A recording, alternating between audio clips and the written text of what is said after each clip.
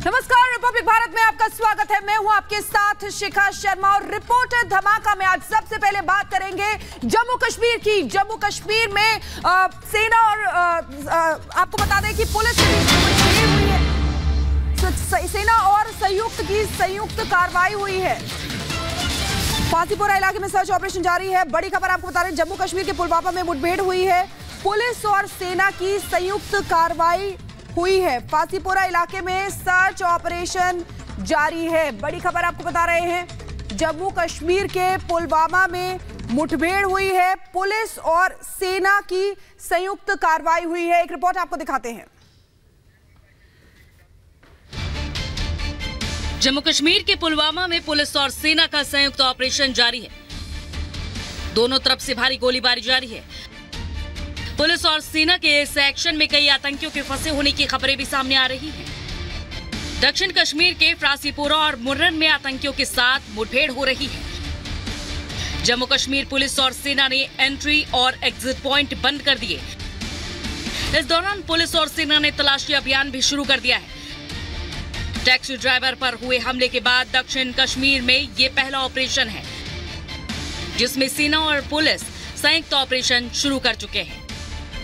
घेराबंदी और तलाशी अभियान के दौरान आतंकवादियों ने गोलीबारी की। पुलवामा ज़िले के फ्रासीपोरा और मुर्रन में ये मुठभेड़ चल रही है। इस दौरान सर्च ऑपरेशन भी चल रहा है।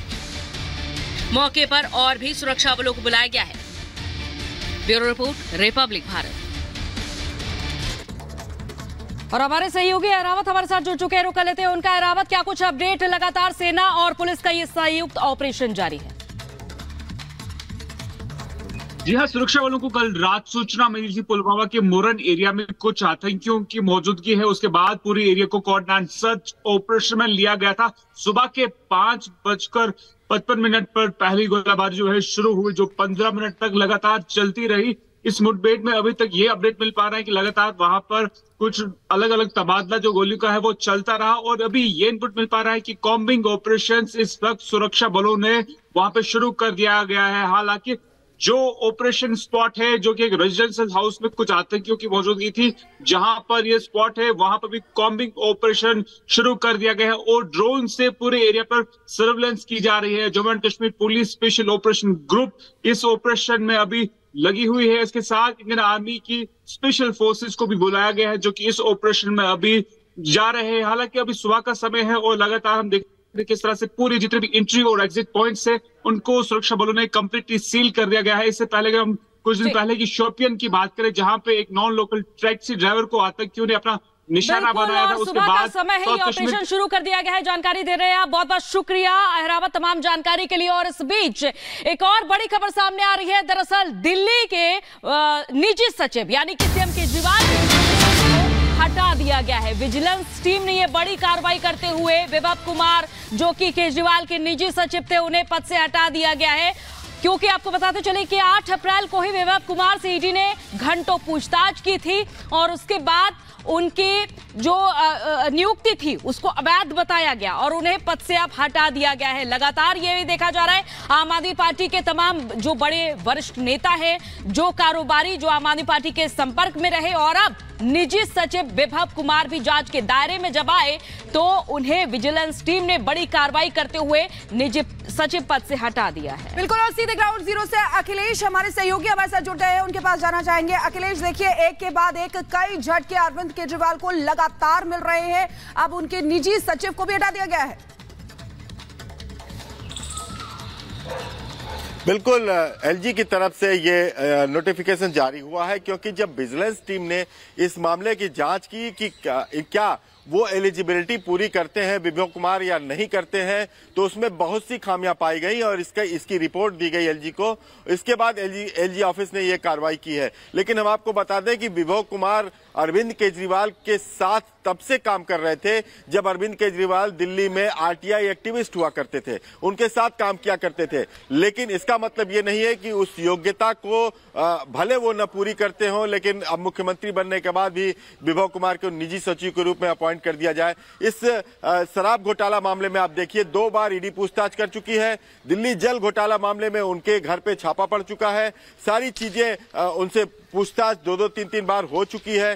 तो ऐसे में ये सारी कड़ियों को जब जोड़ने की बात जब आ रही है बड़े नेता और बड़े जो इस मामले में शराब घोटाला मामले की बात करें तो इसमें बड़े जो व्यवसायी हैं या बड़े नेता हैं उनकी भूमिका आप जी अखिलेश बड़ी जानकारी आप दे रहे हैं आपके पास वापस लौटेंगे। इसी बीच एक और बड़ी खबर अपने दर्शकों को बता दें अरविंद केजरीवाल का हेल्थ बुलेटिन जारी किया गया है। तिहाड़ प्रशासन की तरफ़ से 11 दिन में एक किलो वज़न बढ़ा है जबकि आम आदमी पार्टी कह रही थी कि वज़न चार किलो कम हुआ है। बता रहे हैं केजरीवाल का हेल्थ बुलेटिन जारी किया गया है। तिहाड़ प्रशासन ने यह बुलेटिन जारी किया है क्योंकि आम आदमी पार्टी लगातार अरविंद केजरीवाल की हेल्थ को लेकर बोल रही थी। कम होने का आरोप लगा रही थी, वज़न कम होने का। चार किलो वज़न कम हुआ है यह आम आदमी पार्टी की तरफ़ से कहा जा रहा था, लेकिन हेल्थ बुलेटिन जारी किया गया है तिहाड़ प्रशासन की तरफ़ से, जिसमें बताया गया है कि 11 दिन में अरविंद केजरीवाल का एक किलो वज़न बढ़ा है। ये बड़ी खबर आपको बता रहे हैं। देखिए किस तरीके से एक के बाद एक झटके जो है, अरविंद केजरीवाल को लग रहे हैं।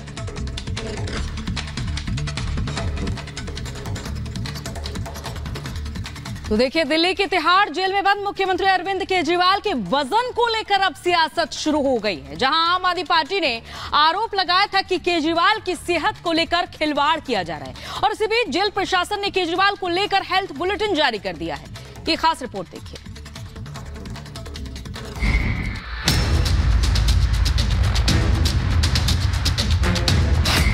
केजरीवाल का वज़न किसे नफा, किसे नुकसान? वज़न कम या ज़्यादा, मेडिकल रिपोर्ट में खुलासा। दिल्ली के तिहाड़ जेल में बंद मुख्यमंत्री अरविंद केजरीवाल की सेहत सुर्खियों में है। मुख्यमंत्री अरविंद केजरीवाल को ईडी ने शराब घोटाले मामले में मनी लॉन्ड्रिंग केस में 21 मार्च को गिरफ़्तार किया था। उसके बाद 10 दिन तक उनसे पूछताछ की गई। बाद में ट्रायल कोर्ट ने 1 अप्रैल को केजरीवाल को 15 दिन की न्यायिक हिरासत में तिहाड़ जेल भेज दिया। केजरीवाल तिहाड़ जेल में पिछले 11 दिनों ऐसी बंद है। सीएम केजरीवाल की जेल जाते ही आम आदमी पार्टी ने आरोपों की बौछार कर दी। दिल्ली सरकार में मंत्री आतिशी ने 3 अप्रैल को सोशल मीडिया पर केजरीवाल की सेहत का हवाला देते हुए बीजेपी को आड़े हाथ लिया और कहा कि Arvind Kejriwal severe diabetic patient हैं और उनका वज़न करीब साढ़े चार किलो कम हो गया है, जो उनकी सेहत से खिलवाड़ है। एक बार उनका शुगर लेवल 46 तक पहुँच गया, जो किसी भी व्यक्ति के लिए जानलेवा साबित हो सकता है। अरविंद केजरीवाल जी का पिछले 12 दिन में साढ़े चार किलो वज़न घट गया है। एक डायबिटीज़ का पेशेंट होते हुए इतने कम समय में इतना ज़्यादा वज़न घटना कई प्रकार की कॉम्प्लिकेशंस पैदा कर सकता है। केजरीवाल की सेहत को लेकर चल रही सियासत को विराम देते हुए तिहाड़ जेल ने अरविंद केजरीवाल का हेल्थ बुलेटिन जारी किया। जिसमें साफ़ हो गया कि केजरीवाल का वज़न कम नहीं हुआ, बल्कि एक किलो बढ़ गया है। मेडिकल रिपोर्ट की माने तो एक अप्रैल को केजरीवाल का वज़न पैंसठ किलो था, जो अब छाछठ किलोग्राम हो गया है। बीजेपी नेता रामवीर सिंह विद्यूड़ी ने आम आदमी पार्टी पर जमकर निशाना साधा और कहा कि आम आदमी पार्टी बीजेपी को बदनाम करने की कोशिश कर रही है। जेल के नियम अनुमति नहीं देते हैं कि अरविंद केजरीवाल जेल से सरकार चला सके। तो अरविंद केजरीवाल को आज नहीं तो कल त्यागपत्र देना होगा, नहीं तो कानून अपना काम करेगा। शराब घोटाले से जुड़े मनी लॉन्ड्रिंग मामले में ईडी की गिरफ्तारी को चुनौती देने वाली अरविंद केजरीवाल की याचिका को दिल्ली हाईकोर्ट ने खारिज कर दिया है। अदालत के सामने केजरीवाल का तर्क था कि जानबूझकर लोकसभा चुनाव से पहले गिरफ्तारी की गई है। हाई कोर्ट से राहत न मिलने के बाद केजरीवाल ने सुप्रीम कोर्ट का रुख किया है, लेकिन सुप्रीम कोर्ट का क्या फैसला रहता है, ये तो 15 अप्रैल को ही पता चलेगा। Bureau report, Republic Bharat. और सीधे जतिन का रुख करेंगे हमारे सहयोगी हमारे साथ जुड़े हुए हैं। जतिन, देखिए किस तरीके से आम आदमी पार्टी लगातार प्रदर्शन कर रही है, उपवास कर रही थी गिरफ्तारी के खिलाफ, लेकिन यहाँ पर तो हेल्थ बुलेटिन जारी होने के बाद एक बार फिर से उनके आरोप गलत ही साबित हो रहे हैं। आज बिल्कुल, देखिए, अरविंद केजरीवाल जब एक तारीख को तिहाड़ जेल पहुँचे थे तो उनका जब बेसिक चेकअप किया गया, उसमें उनका वेट तकरीबन पैंसठ किलो था। लेकिन सात तारीख को जब दोबारा से रूटीन चेकअप किया गया तो उनका वज़न तकरीबन 66 केजी हो गया। तो ये बात तो बिल्कुल साफ़ है कि अरविंद केजरीवाल का वज़न तिहाड़ जेल के अंदर बढ़ा है। आम आदमी पार्टी जो इस तरीके के आरोप लगा रही थी कि अरविंद केजरीवाल का वज़न तकरीबन साढ़े चार किलो कम हुआ है तो कहीं ना कहीं तिहाड़ प्रशासन ने जो हेल्थ बुलेटिन जारी किया, उसमें इस बात की पुष्टि बिल्कुल नहीं होती है। साथ ही आपको बता दें कि अरविंद केजरीवाल शुगर पेशेंट है। इस तरीके के भी आम आदमी पार्टी द्वारा आरोप लगाए गए कि अरविंद केजरीवाल का शुगर लेवल 40 तक पहुँच गया लेकिन एक तारीख से लेकर आज 11 तारीख हो चुकी है और 10 तारीख तक का जो हेल्थ बुलेटिन तिहाड़ जेल ने सामने रखा, उसमें यह बात बिल्कुल साफ़ है कि वज़न तो बड़ा ही है, लेकिन बाकी जो पैरामीटर्स हैं, चाहे वो शुगर के हो या बीपी के हो, अरविंद केजरीवाल बिल्कुल हेल्दी हैं, जेल में उनको किसी भी तरीके की परेशानी नहीं है। तिहाड़ एडमिनिस्ट्रेशन का साफ़ तौर पर कहना है कि कोर्ट से जो जो चीज़ें बोली गई थी एडमिनिस्ट्रेशन को देने के लिए, वो सब कुछ दिया जा रहा है। रोज उनका बेसिक जो हेल्थ चेकअप है, तिहाड़ जेल के अंदर सुबह भी किया जाता है और शाम को भी किया जाता है। हालाँकि वो शुगर पेशेंट है, घर का खाना उनको दिया जा रहा है। जो टेबल कुर्सी उन्होंने मांगी थी अपने सेल के लिए, वो भी उन्हें प्रोवाइड करवाई जा रही है। तो जिस तरीके के एलिगेशन अरविंद केजरीवाल की हेल्थ को लेकर आम आदमी पार्टी लगातार लगा रही थी, कहीं ना कहीं तिहाड़ प्रशासन का यह हेल्थ बुलेटिन उन सभी आरोपों को बेबुनियाद बताता हुआ नज़र आ रहा है और तिहाड़ प्रशासन का यह कहना है कि जब से अरविंद केजरीवाल जेल में पहुँचे हैं तो उनको किसी भी तरीके की परेशानी नहीं है। हालाँकि जेल मैनुअल का उनको पालन करना होगा और तमाम जो डायरेक्शन है वो जेल के अंदर दी गई है। आपको ये भी बता दें कि परसों अरविंद केजरीवाल की जो पत्नी है सुनीता केजरीवाल वो भी अरविंद केजरीवाल से मिली थी। कल आम आदमी पार्टी ने एक प्रेस कॉन्फ्रेंस भी की और बताया कि वो लगातार अपनी पत्नी के ज़रिए पार्टी से जुड़ी बातें जो हैं वो पब्लिकली कर रहे हैं और किस तरीके से पार्टी को आगे मूवमेंट करना है वो तमाम चीज़ें अरविंद केजरीवाल जेल के ज़रिए बताते हुए नज़र आ रहे हैं। बिल्कुल बिल्कुल बड़ी बात आप यहाँ पर कह रहे हैं आपके पास वापस लौटेंगे। इसी बीच अपने दर्शकों को बता दें कि किस तरीके से समाजवादी पार्टी के मुखिया अखिलेश यादव और आज़म खान के बीच में तलखी जो है वो बढ़ती जा रही है। टिकटों के बंटवारे की दावेदारी को लेकर, टिकटों की दावेदारी को लेकर दोनों के बीच में जो तनातनी शुरू हुई थी, वो कम होने का नाम नहीं ले रही है। एक रिपोर्ट आपको इसी से जुड़ी दिखाती है।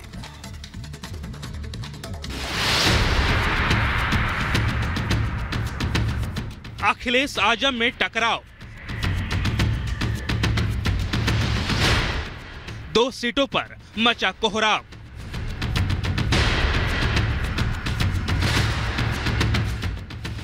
रामपुर मुरादाबाद पर छिड़ा संग्राम।